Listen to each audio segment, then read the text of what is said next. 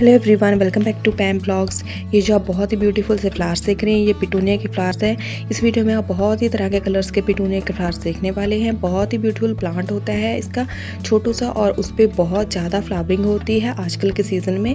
Like अभी मार्च में, अप्रैल में काफ़ी अच्छी फ्लावरिंग करता है ये। जैसे आपका छोटा सा प्लांट है, उस पर ट्वेंटी या थर्टी फ्लावर्स एक साथ में ही आएँगे अगर आपने उसकी अच्छी सी केयर की है तो। एंड फ्लावर्स के प्लांट हो या कोई भी प्लांट हो, उसकी केयर के ऊपर ही डिपेंड करता है। इसको कभी भी ऊपर से पानी मत डालिए, पानी स्प्रिंकल मत कीजिए। इसकी जो फ्लावर्स होते हैं, वो बहुत ही ज़्यादा सॉफ्ट होते हैं, वो थोड़े से उससे मुरझा जाएँगे मीन्स मुरझा जाएँगे, वो थोड़े से टूट जाते हैं, काफ़ी सॉफ्ट होने की वजह से वो डायरेक्ट पानी को नहीं झेल पाएँगे। अगर आपने इसको वाटरिंग करनी है तो साइड से जो रूट्स के पास है, वहाँ से आप इसको वाटरिंग कीजिए। और इसकी सन रिक्वायरमेंट काफ़ी अच्छी है, आप इसको डायरेक्ट सन में रख सकते हैं, इसको कुछ फ़र्क नहीं पड़ेगा। और फर्टिलाइज़र आप इसमें गोबर खाद, आप कोई भी केमिकल फर्टिलाइज़र डाल सकते हैं, बहुत ही अच्छी फ्लावरिंग करता रहता है ये, इस सीज़न में।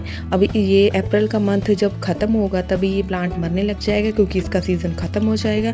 आप जैसी मर्ज़ी कोशिश कर लो, इसको आप नहीं बचा सकते बट हाँ इसके जो फ्लावर्स है, उसके नीचे गोल सी, छोटी सी डोडियाँ लगती हैं, वहाँ पर आपको इतने ज़्यादा सीड्स मिलेंगे कि आप नेक्स्ट सीज़न में लाइक दिसंबर जनवरी में अगर आप इसको सीड्स को ज़मीन में लगा देंगे तो आपको बहुत सारे प्लांट्स मिल जाएँगे।